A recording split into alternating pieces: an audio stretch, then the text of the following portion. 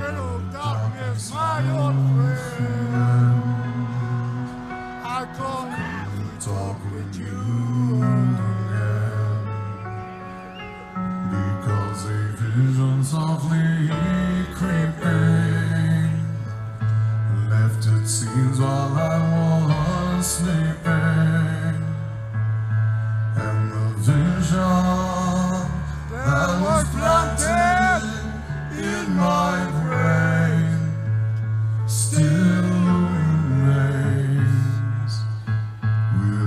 the sound of silence. In restless streets, I walked alone. Narrow streets and cobblestone.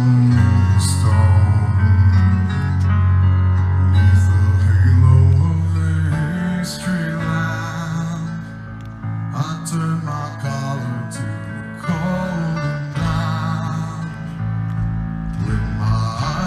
stared by the flash of a neon light that split the night and touched the sound of silence.